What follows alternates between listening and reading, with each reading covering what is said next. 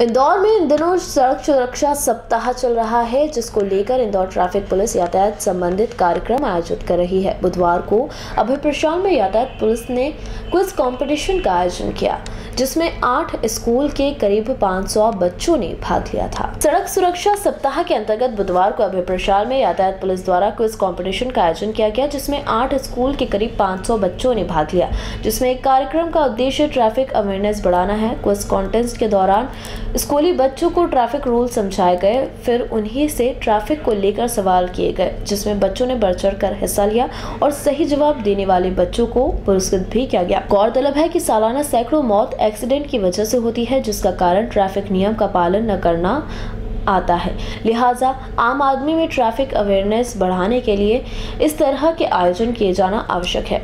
इस कार्यक्रम में पुलिस के आला अधिकारी मौजूद रहे। तो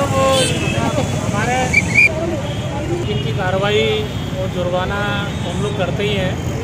साथ में हमने इस बार कुछ नया सोचा है कि हम लोग मोटिवेट करेंगे और आज हमने गुलाब के फूल भी लाए हैं उनका हमने स्वागत किया है। हमारे यमराज जी भी आए हैं उन्होंने भी उनको फूल देकर उनको इसको माफ़ किया है और ये उनसे आश्वासन दिया है कि अगले बार हम हेलमेट पहन कर ही आएँगे। तो ट्रैफ़िक सप्ताह को लेकर हो? ट्रैफ़िक सप्ताह को लेकर ये हमारे कार्यालय की पहल है और इसमें हमारे कार्यालय के सभी लोगों ने बढ़ चढ़ कर हिस्सा लिया है चाहे थे कि हमारे शहर के वासी सुरक्षित यात्रा करें। वो भैया वाहन चालक जो बिना हेलमेट के उनके लिए अवेयरनेस जागृत करें और वो सुरक्षित अपने घर पहुँच सकें। किन किन चालकों दिया है? तीन सवारी कार वाले या कुछ हाँ अभी अब जैसे महिला दो पहिया चालक कार और कार चालक जिन्हें सीट सीट बेल्ट नहीं लगाया था और कुछ लोगों ने हेलमेट रखा हुआ था लेकिन हेलमेट नहीं पहना था उनको सबको उसके लिए अवेयरनेस किया लेकिन मेरा ये कहना है कि हमारा प्रयास जनता को